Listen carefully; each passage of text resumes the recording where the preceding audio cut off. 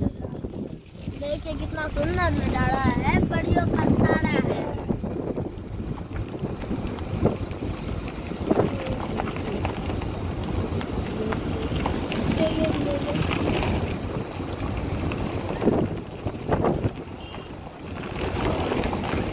हो चुका है।